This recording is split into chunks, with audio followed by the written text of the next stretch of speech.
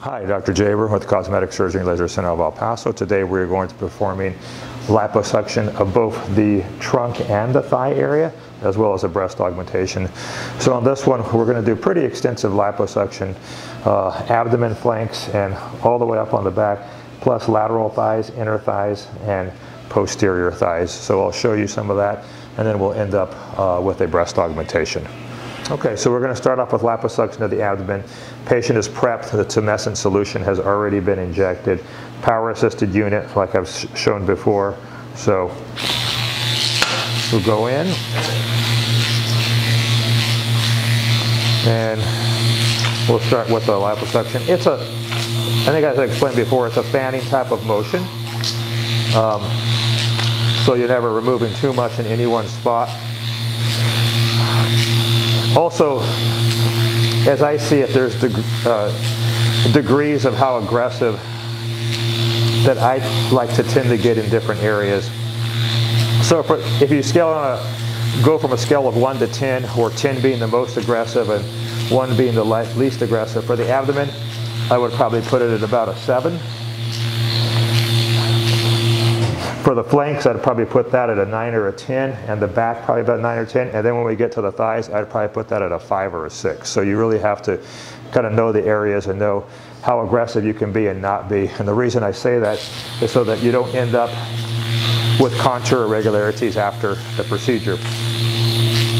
Everyone thinks that liposuction is such an easy procedure to perform, and indeed it is easy to perform, but it's hard to perform and have it look good afterwards. So we'll go through this and I'll show you some different areas that we're doing um, uh, different parts of the procedure. I've completed the liposuction on the left, both lower and upper abdomen. And so the end point is really it's a pinch test. So I'm pinching, I'm pinching the fat to see how much is left. Now this side hasn't had any done, so it's going to be significantly different.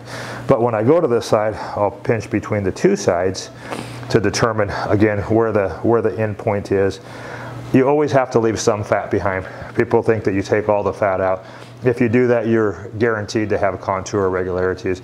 The fat is the fat layer is what makes it look smooth. So you always want to have some layer left behind. I think you've heard me say this before. Um, the final result of liposuction is really not how much you removed, it's how much you've left behind is what's going to determine how it, how it ultimately looks. So I'll go to the other side and then we'll start with the thighs. So the abdomen is, is complete. We did all the liposuction there. You see when I pinch, sides pretty symmetric. So now we're going to move on to the thighs. We talked about aggressiveness in different areas. So on this, on the thighs, you have to be much less aggressive. And one of the ways you can do that also is physically how much you move, but the cannulas you use. So I switched to a smaller cannula with less holes in it as well. So again, that will take out, take out less, less fat to pass.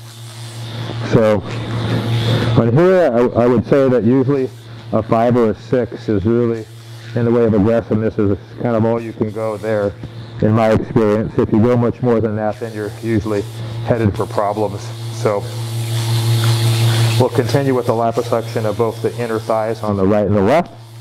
And then we'll turn the patient up on her side and begin liposuction on the flanks, back, and the other portions of the thigh.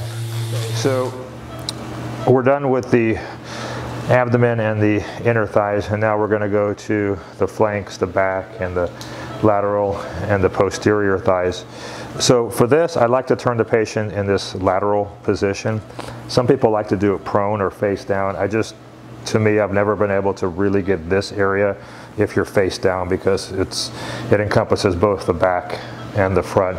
So the only way I can see both sides and get it adequately, in my opinion, is to turn them in this position here. So we'll start here, do the rest of the back, and then I'll show you once we get to the, the thighs. And again, I put, I put the most, the more aggressive uh, cannula back on. And this area here would be a nine or a 10. This is, if you're gonna get aggressive, this is the area that you wanna do it. So we'll start here. And again, the principles are all the same. Kind of working back and forth in a fanning type of motion. And we'll spend some time in this area. This, this area tends to be one of the areas we spend the most time. And I'll show you once, once we get done with the, the flanks in the back. The liposuction of the flanks and the back have been completed, and I'll show you that after we're done here, but I'm going to move on to the thighs. So this is going to be the posterior, the back part of the thighs, and the lateral thighs. Again, I put the smaller cannula on, and uh, we'll be less aggressive on this side here. So this is joining up with the medial, or the inner thighs that I did. In fact, this line here, to me, indicates where I stopped on the inner thigh, and now I'm continuing on the posterior thigh. So I'll work on that area as well as the lateral thigh and I'll show you once we're completely done with this side. All done with the liposuction so I just marked out the values that I removed from the areas and you can see it kind of reflects the aggressiveness and also to a degree how much fat is there. So of course this be the most aggressive area, the flank 600 cc's, mid back 250 cc's, upper back 50 cc's and then we come here to the thighs. So lateral thigh 250 cc's and posterior thigh 100 cc's. So those are all the areas that we're going to do. Um, we'll turn her to the uh, right side up and do the areas on the right side as well, and we'll be done with the liposuction. We're all done with the liposuction, so I uh, hope you can appreciate really the, the contour differences that we've obtained in the different areas that we did the liposuction on. So a little bit more than the typical. We went pretty much on most areas you can go. We didn't do arms, we didn't do neck, but on on the body of the trunk and the thighs we did pretty much pretty much all the areas. So I'm going to have you come over here and I'm going to show you the preoperative picture and the fat we removed. So here is the uh, before picture so you can it's, it's in a different pose obviously but I think you can still appreciate the uh, the liposuction. And then this last one here, I'm gonna bring it over. There's the actual fat that was removed. And you can see most of it, most of it is, is fat. Some of the fluid here on the bottom, uh, but that's, that's typical. So we're all done with the procedure. Dr. Mark Jabor, Cosmetic Surgery and Laser Center of El Paso. Thank you for watching. So I signed off a little early. The case was liposuction of the trunk and thighs and breast augmentation. So we finished with the liposuction and now we're going to uh, do the breast augmentation. Um, so here's the uh, preoperative pictures. One thing to notice is that the breast mounds, especially on this right side here, it's just more lateral. And so that's something that you really can't overcome with a breast augmentation. The breast augmentation will make them look bigger, but this right side, for example, it's gonna always be more lateral or to the side it's going to overlook better, but those are things that I discuss with the patient um, at the time of consultation. And so we've also discussed what size of implants and through the use of our 3D imaging, we're going to use a 400 cc gel implant. That's the size that she thought would be most appropriate for her, and I thought that would be a good size as well. And so we're going to get started, and I'll show you as we go along. I've made the access incision right here at the fold of the breast and I've dissected down to the muscle. And here's the muscle right here.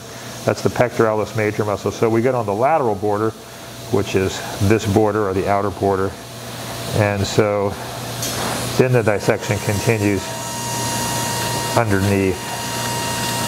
And from here I'll have to put a retractor. It kind of gets hard to see unless we were to have a camera. But so from here, I'm going to really free the muscle from from this point all the way to right there to allow to, to two things to allow the implant to to come down and settle in a good position and also so that when the patient contracts the muscle that the muscle slides over more of the implant instead of pushing the implant to the side and up so I'll, uh, I'll do this dissection here and I'll put a sizer in and I'll show you once we have that sizer in place. Okay, so the sizer is uh, in, so you can see the difference. It's, the implant is actually a 405, 405 cc implant. And this is the unaugmented side. So I'm going to go over to this side. We'll do the same. We'll put a sizer in. We'll sit her up one more time just to make sure the symmetry is good between the uh, two sides. And then we'll put the actual implant in. Here's the device that we use to put the implant. So this is the real implant. I already put the sizers in. We sat her up. I was happy with the symmetry. This is so we have a no-touch technique really on the uh, implants themselves. So it's a funnel. So the assistant lifts there. I insert that with the funnel and just squeeze and the implant goes in. So I didn't have to touch the implant at all to do that. And now we'll put some sutures and we'll close that. And I'll show you once we're done uh, closing both sides. So we're all done with the procedure. The patient is uh, sat upright so that you can see. Uh, incisions have been closed. Again, there are 405, 405 cc implants on both sides. You can compare it with the preoperative picture um, that we have and you can see the immediate results off the table. We'll put dressings on patients who will be seen in my office tomorrow. I'm Dr. Mark Jabor, Cosmetic Surgery and Laser Center of El Paso. Thank you for watching. You can follow me on Dr. 915 on Instagram.